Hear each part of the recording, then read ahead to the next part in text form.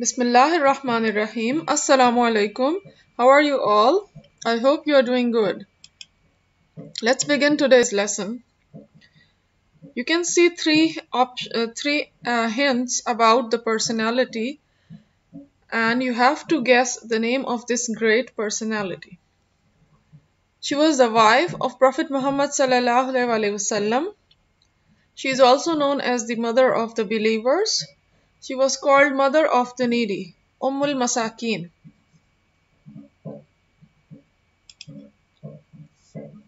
Yes, she was Zainab bint Khuzaima radiallahu ta'ala anha.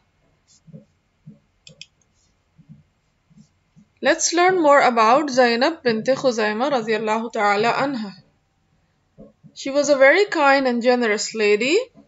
Her full name is Zainab bint Khuzaima she was also called the mother of the needy because of her generosity. She was born 13 years before prophethood and she was also among the early converts of Islam. Zainab radiallahu ta'ala anha had a sad life before she married to Prophet Muhammad. Some historians claim that she was the wife of Tufail bin Harith later when Tufail divorced her, uh, she was remarried with the brother of Tufail, Ubaidah bin Haris, who later on was martyred after the Battle of Badr. So that made Zainab radiallahu ta'ala more upset and after the loss of her husband, she was very upset as she had migrated from Mecca to Medina and felt all alone after his martyrdom. Some time after the martyrdom of her husband, the Prophet ﷺ proposed her because Prophet Muhammad ﷺ came to know about her that she had a very tough life already and now even after the martyrdom of her second husband, she is more alone and very sad, and there is no one to look after her, and there is no one to take care of her. So when Prophet Muhammad, peace be upon him, uh, came to know about this, he sent the proposal for her. And as she realized that Prophet Muhammad, peace be upon him, is the best of the guardians, and uh, she found herself fortunate that he the prophet of allah is uh, is, is proposing her. So she had accepted the proposal happily. This how she got married to prophet muhammad sallallahu alaihi wasallam let's learn about the characteristics of zainab radiallahu ta'ala anha.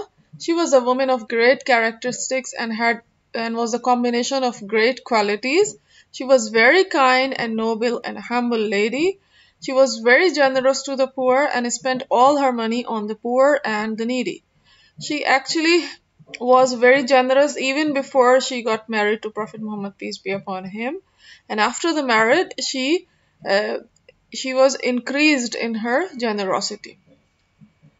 She learned a lot from Prophet Muhammad peace be upon him and gained more knowledge and imitated his manners as she was living with the Prophet Muhammad, peace be upon him, who was the source of great knowledge. So she also took advantage of it and learned a lot of things and great manners from Prophet Muhammad wasallam.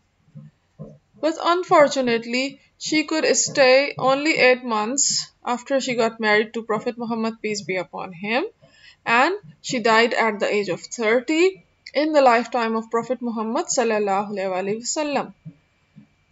Later she was buried in Jannatul Baqi.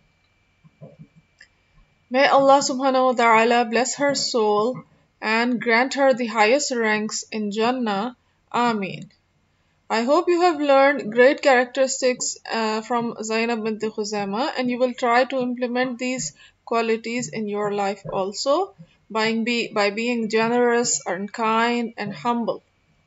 That's all for today. Thank you very much. Assalamu alaikum wa rahmatullahi wa barakatuh.